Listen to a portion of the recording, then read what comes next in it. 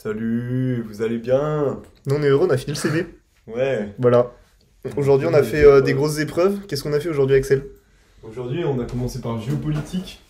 Donc, on a eu des- un sujet sur les frontières avec Paul. C'est ça parce qu'on avait pris le même classique. sujet, sujet transversal, enfin le même type de sujet en fait. Même pas problématisé, c'était les frontières aujourd'hui. C'était les frontières dans le monde d'aujourd'hui. Donc euh, Le plus classique qu'on pouvait avoir. moi je peux vous dire vite fait mon plan en deux mots parce que je m'en rappelle. C'était un plan un peu, un peu classique. Grand 1, les frontières, où est-ce qu'on en est Quelle importance est-ce qu'elles ont dans le monde d'aujourd'hui Pourquoi est-ce qu'elles ont cette importance-là Grand 2, est-ce qu'elles seraient pas en train d'être remises en cause et d'être dissipées, dissoutes par la mondialisation Grand 3, mais en fait, est-ce que cette mondialisation, qui est parfois incontrôlée, elle serait pas en train de remettre en cause de nouvelles frontières Et en grand 3, petit 3, je parle de l'Ukraine et de peut-être la création de nouveaux blocs et tout, avec le bloc des gens qui seraient euh, sanctionnés par les Américains. Genre avec l'Iran, euh, la Russie et tout. Ah ouais. Voilà. Normal quoi. Moi, j'ai pas du tout le plan de Paul. Euh, attendez 3 secondes. Qu'est-ce que t'as comme plan, mon bro Euh. J'ai Warwick, attends déjà. Non Axel Quoi? Bon, bah Axel il quitte la vidéo, super. Il doit parler à ses fans sur OnlyFans parce qu'Axel a un OnlyFans et il est en train de gérer son compte là. Faut juste que je prenne des, des runes. Que. Non, euh... Et pendant qu'il fait ça, donc qu'est-ce que je pourrais vous dire d'autre? Euh, moi, Vas-y. attends, je peux leur dire. Bah, en, en gros, le plan que Paul a fait, euh, moi, je suis très vite euh, passé en mode. bah, la troisième partie qui fait de la redéfinition de la frontière, pour moi, c'était une deuxième partie. Et donc, je suis passé plus vite sur les trucs que Paul a dit, pour arriver du coup en deuxième partie plus vite.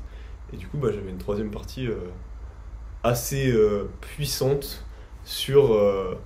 mais finalement, une. une une, euh, une réaffirma- euh, euh, pardon, une mondialisation qui se fonderait, qui serait déterminée par les frontières. Voilà, très, très forte, et, mais peut-être très fausse aussi. Une mondialisation qui serait déterminée par les frontières?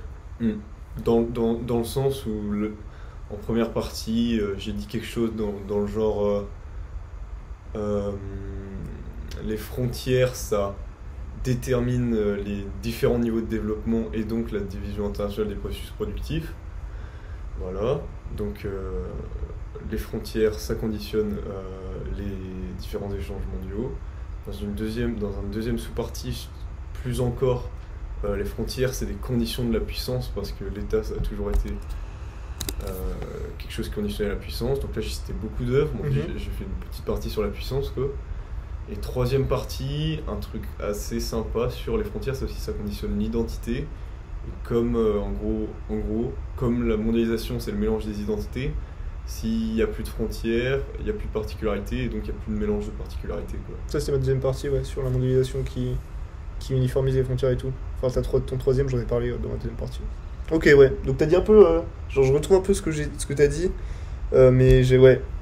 En gros, t'as un peu plus dépassé que moi. Genre moi, j'ai plutôt posé ça en mode euh, normal, quoi. Et toi, t'étais en mode euh, dépassement. Mais stylé. J'ai pas pensé à parler trop de, de fait que ça divise le monde au niveau des échanges productifs et tout. Mais bon. Voilà, puis sinon, on va, on va, on va bientôt aller se coucher. Nous, on est fatigué. Demain, on est au mais vite fait, euh, petit compte rendu sur les maths.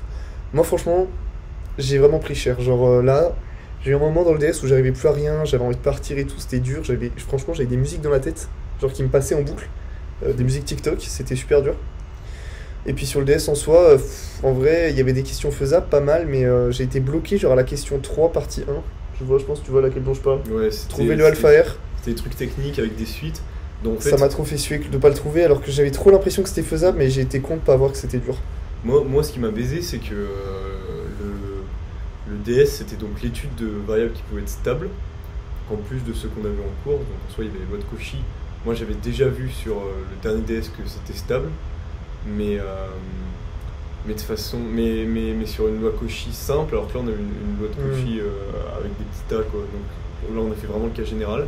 Et le truc, c'est qu'en fait, euh, le résultat qu'on nous faisait avoir avec des, certaines suites, on va l'utiliser vraiment dans les questions 27 du DS. Je comprenais pas pourquoi ils nous ont fait faire ça. Et ça me saoulait parce que je voyais pas où ils nous menaient. Mais Ouais. dès, dès la partie 2, euh, j'ai commencé à comprendre. quoi. Et voilà. Ok. Et Sinon, j'ai bien kiffé ce DS. J'ai passé un bon, Bon. moment. C'est pas forcément très bien réussi, mais j'ai trouvé qu'il était intéressant. Bien fait, quoi. Si au moins 50% de la chambre son ça kiffé, c'est bien, hein. on va dire ça. On fait des bisous, reposez-vous bien, nous demain c'est les oraux. On continue fort, strong.